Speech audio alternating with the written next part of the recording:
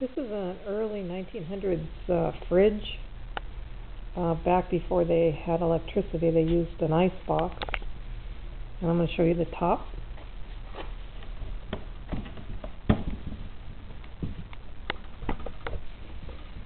What you would do is you would put your ice block in here, and it would drain out the hole. And the hole goes down to this area. To another hole, and this area is all metal, and then you would shut it. The reason it looks like this is because I bought it for seventy-five dollars on Craigslist, and I'm stripping all the paint off it to use it in the cabin.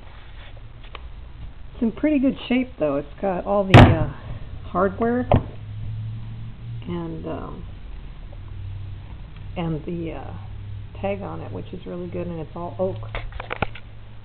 I've got a tube for that that I'm gonna use, and this piece is missing on the other side, so I'm gonna make another piece using this as, um, a backing.